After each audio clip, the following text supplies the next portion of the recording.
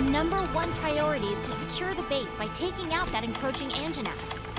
Use everything at your disposal. That's the way it works here in the New World.